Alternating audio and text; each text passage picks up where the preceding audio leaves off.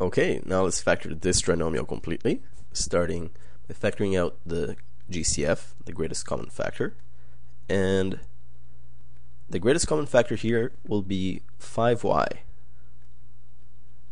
And 10x squared divided by 5y is 2x squared. 25xy divided by 5y is 5x. And negative 15y divided by 5y is just negative 3. Now we have a trinomial right here that we can actually also factor. And we're going to be looking for two numbers that multiply to whatever 2 and negative 3 multiply to. In this case, negative 6, because 2 times negative 3 is negative 6.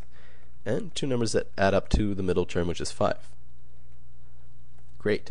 So those numbers will be 6 and negative 1 because 6 times negative 1 is negative 6 and 6 plus 1 plus negative 1 is positive 5 so then we can split up the 5x into 6x minus 1x and we have the negative 3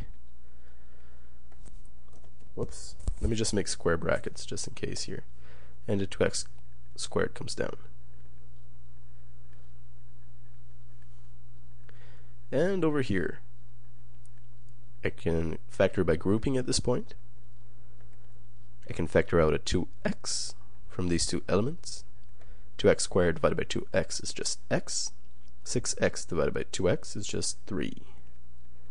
And over here we have negative 1x minus 3, or just negative x minus 3.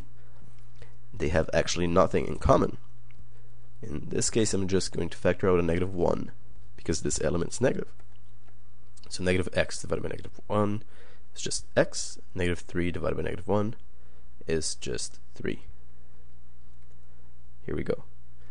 Then, so let's just copy the 5y, open some brackets, and this is a repeated element, right? The x, uh, x plus 3. So we can write that down over here, x plus 3. Maybe square brackets or just round brackets at this point or parentheses, another set of parentheses, and then we'll have 2x minus 1. Well, that was a long question. Let me just write the final answer down over here in a different color.